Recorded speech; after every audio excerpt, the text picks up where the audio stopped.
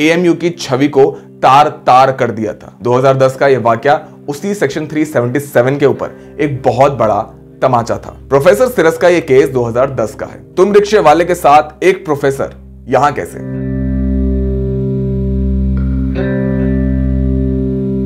नमस्कार, मैं हूँ आपके साथ मेहर जैन और आज मेरे साथ है उमर अंसारी। दोस्तों, हमने अपनी ज़िंदगी में अलीगढ़ मुस्लिम यूनिवर्सिटी का नाम कई मरतबा सुना होगा।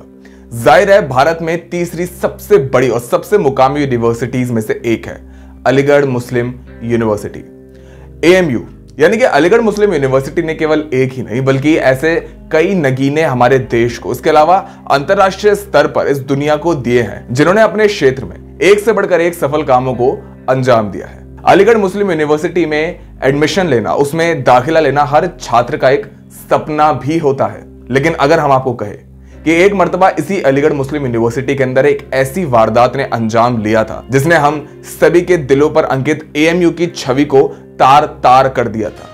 तो इस मर्तबा कथा पेश करता है आप सभी के सामने, उस वाक्यात की, जिसने बलाय ताक रखी अलीगढ़ मुस्लिम यूनिवर्सिटी की इज़्ज़त।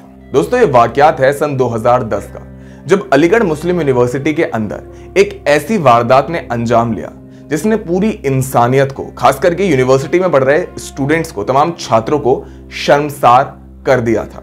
जी हाँ। दोस्तों, आज जिस धारा 377 यानी जिस सेक्शन 377 की हम लोग बात करते हैं 2010 का यह वाक्य, उसी सेक्शन 377 के ऊपर एक बहुत बड़ा तमाचा था। सेक्शन 377 यानी धारा 377 में हमारा भारतीय संविधान उन लोगों को वैवाहिक संबंध बनाने की अनुमति देता है जो अपने ही लिंग, यानी अपने ही जेंडर के लोगों के साथ वैवाहिक संबंध बनाना चाहते हैं। इसको हम इस तरीके से समझते हैं कि अगर कोई लड़का किसी लड़के के साथ प्यार करता है, वैसे आज के समय में जिस तरीके की फ़िल्में बॉलीवुड के अंदर बनाई जा रही है, वेब सीरीज़ का जमाना आज के समय तो जिस तरीके का कंटेंट आज ओटीटी प्लेटफॉर्म्स पर बनाया जा रहा है, उसमें हम होमोसेक्सुअल लोगों की बात बड़े आराम से समझ सकते हैं। इसका मतलब होता है गे या फिर महिलाओं के लिए इसमें हम शब्द इस्तेमाल करते हैं लेस्बियन तो इसमें जब कोई लड़का किसी लड़के के लिए कई किस्म के आकर्षण महसूस करता है, जिसमें वो लड़का अपना वैवाहिक जीवन उसी एक लड़के के साथ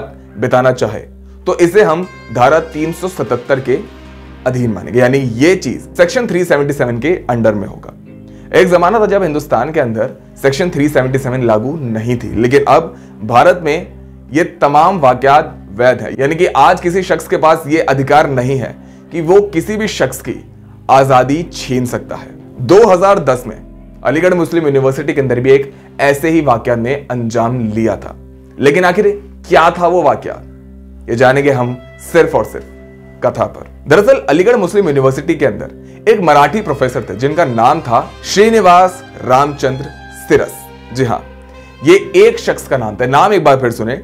श्रीनिवास रामचंद्र सिरस।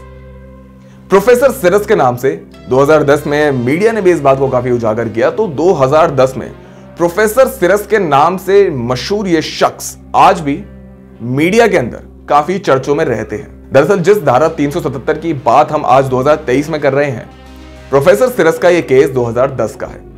प्रोफेसर सिरस एक गे शख्स थे। जी हाँ, यानी कि प्रोफेसर सिरस के जो डिजायर्स थे, वो लड़कों के लिए थे, ना कि लड़कियों के लिए। 2010 में अलीगढ़ मुस्लिम यूनिवर्सिटी में मराठी पढ़ाने वाले प्रोफेसर सिरस के साथ एक ऐसा वाक्यात हुआ, जिसकी आलोचना जितने अंतरराष्ट्रीय स्तर पर, भारतीय स्तर पर हुई, उतनी ही अलीगढ़ मुस्लिम यूनिवर्सिटी के अंदर भी कई किस्म के धरने प्रदर्शन किए गए थे। तो दोस्तों यह वाक्यात है फरवरी 2010 का, जब प्रोफेसर सिरस रात के समय एक रिक्शे वाले के साथ अपने रूम में थे। उनके रूम में जबरन दो पत्रकार, जी हाँ, इस बात को आप एक बार फिर से सुने। दो पत्रकार, यानी दो मीडिया के लोग ज़बरदस्ती दाखिल हुए और प्रोफेसर सिरस और उनका पार्टनर, जो कि एक रिक्शे वाला था, अलीगढ़ के ही अंदर, उनकी बगैर कपड़ों की उन लोगों ने वीडियो बनानी शुरू कर दी। यह वाक्य था 2010 का। इस वीडियो की एक कॉपी बीबीसी के पास जब पहुँची तो बीबीसी की एक रिपोर्ट में भी इस बात का खुलासा किया गया है कि इंसानियत को शर्मसार करने वाली वीडियो थी वो। और इस वीडियो को बनाने के पीछे दो पत्रकार मौजूद थे। प्रोफेसर सिरस के कमरे में ज़बरदस्ती दाखिल होने के बाद, उनमें से एक शख्स ने प्रोफेसर सिरस से यह सवाल किया कि हम पत्रकार हैं। क्या हो रहा है यहाँ लॉन्ग शॉट लो लॉन्ग शॉट तुम रिक्शे वाले के साथ एक प्रोफेसर, यहाँ कैसे? तो ये सवाल पूछे गए थे उसी वीडियो के दरमियान, प्रोफेसर सिरस से प्रोफेसर सिरस ने इस बात का खुलासा किया कि वहाँ अलीगढ़ मुस्लिम यूनिवर्सिटी के प्रोफेसर भी थोड़ी देर बाद मेरे ही कमरे में आए और उन्होंने बीच बचाव करने के बजाय उन मीडिया के लोगों से कुछ बात करी थी। इलाहाबाद हाईकोर्ट में जब प्रोफेसर सिरस का ये केस चल रहा था, उस समय अलीगढ़ मुस्लिम यूनिवर्सिटी के कई प्रोफेसर ने प्रोफेसर सिरस के खिलाफ अपने बयान दिए, जिसमें एक बयान यह भी था, जिसमें एएमयू जनसंपर्क अधिकारी राहत अबरार ने कहा कि सिरस को एक रिक्शा चालक के साथ यौन संबंध बनाते हुए कैमरे में कैद किया गया था। यह एक घोटाला है, जिसे कोई भी प्रतिष्ठित संस्थान नजरअंदाज नहीं कर सकता। इसलिए उन्हें आदेश द्वारा निलंबित कर दिया गया।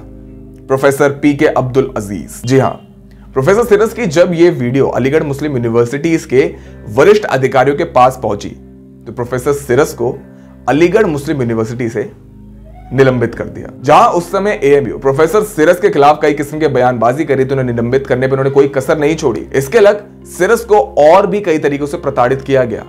उनका सरकारी क्वार्टर उनसे खाली करा लिया गया। इसके अलावा उनके क्वार्टर में बिजली काट दी गई। ऐसी बहुत सी चीज़ें हुई सिरस के साथ उस समय। लेकिन इसी में दोस्तों देखने वाली बात यह है कि जहाँ अलीगढ़ मुस्लिम यूनिवर्सिटी में बहुत से प्रोफेसर, इसके अलावा बहुत से स्टूडेंट्स ऐसे थे, जो सिरस की गे होने की बात को हजम नहीं कर पा रहे थे।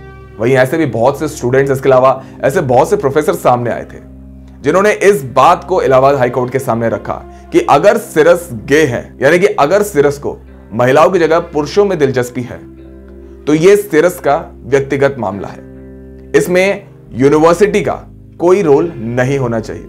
और इसके अलग, अगर सिरस किसी मर्द के साथ भी यौन संबंध बना रहे थे तो वो अपने कमरे में, वो अपने घर में थे, ना कि यूनिवर्सिटी के अंदर। ऐसे भी बहुत से लोग 2010 में ही सिरस के सपोर्ट में खड़े भी हुए थे। सिरस को अपनी नौकरी वापस मिली, लेकिन उसके बाद क्या हुआ यह जानकर आप हैरान रह जाएँगे। दोस्तों, सिरस कौन थे? क्या हुआ था सिरस के साथ? और इसके बाद अलीगढ़ मुस्लिम यूनिवर्सिटी पर लगा यह आरोप मिट सका या नहीं, ये जानेंगे हम अपनी इस वीडियो के अगले पार्ट में। दोस्तों, वीडियो पसंद आई हो तो वीडियो को लाइक करें, शेयर करें, सब्सक्राइब करें। और साथ ही बेल आइकन को भी ज़रूर दबाएँ ताकि आपको हमारे तमाम वीडियोस की नोटिफिकेशंस सबसे पहले मिल सके। इसके अलावा श्रीनिवास रामचंद्र सिरस और इस पूरे मुद्दे को समझने के लिए बने रहे हमारे साथ। उमर अंसारी के साथ मिहिर जैन, कथा।